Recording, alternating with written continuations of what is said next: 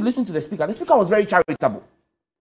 The speaker actually tried to explain the indiscretion of the minister and gave him the leeway to say the speaker, the minister should take steps because the speaker recognizes the fact that the member, the minister, is a senior member of the house, and that is why I believe. I'm sure if it was another minister, and at times this is where people say Parliament we are not we are not fair.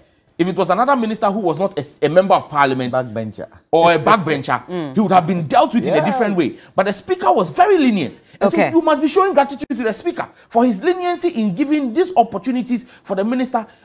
Eat the humble pie. Apologize. You okay. got it wrong. It is possible everybody gets it wrong. It's human nature. Apologize and do the right thing.